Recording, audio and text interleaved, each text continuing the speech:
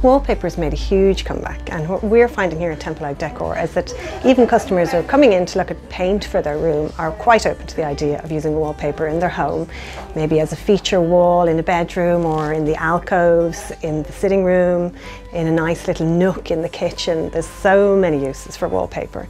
There's so many different types of wallpaper, so many different styles. So take a risk and get creative. Or if your style is more subtle, go for something more muted. There is literally a paper for everyone here at Templeogue Decor.